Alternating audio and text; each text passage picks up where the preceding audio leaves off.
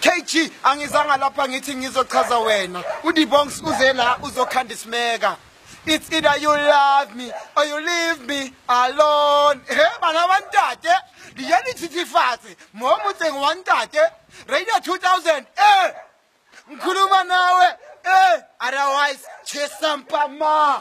Wayampa ma. Hey Marika.